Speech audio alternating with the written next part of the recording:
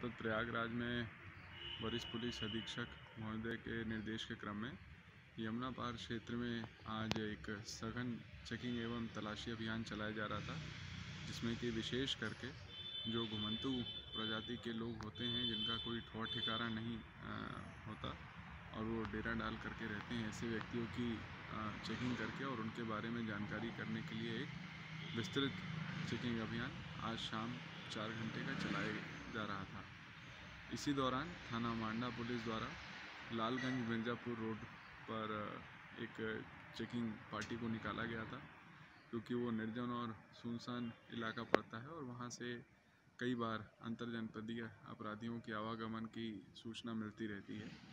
और ये checking party में थानाध्यक्ष मांडा और हमारी जो एसओजी यमुना पार प्रभारी हैं, इनकी एक संयुक्त रूप से एक टीम उधर चेकिंग करने के लिए निकली थी। तो दो व्यक्ति इन्हें दिखाई आते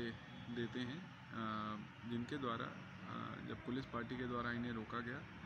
तो उनके तरफ़ से पुलिस पार्टी को देखते हुए और उनकी सजगता और सक्रियता को देखते हुए एकाएक पुलिस पार्टी पर फायर खोल दिया गया। अपने ऊपर फायरिंग होता देख पुलिस पार्टी को आत्मरक्षार्थ जवाबी कार्रवाई करनी पड़ी,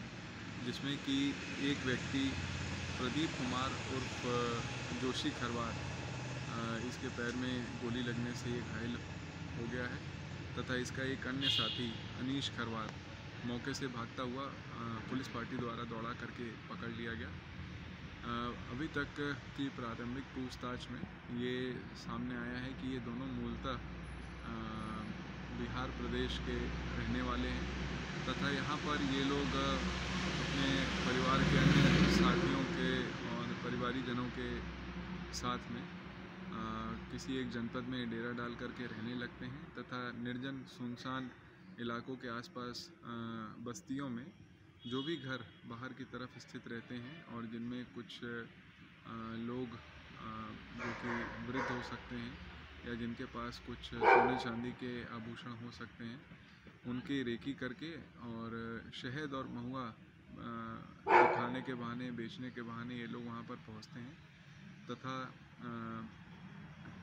कई औजारों का इस्तेमाल करके ये लोग वहाँ पर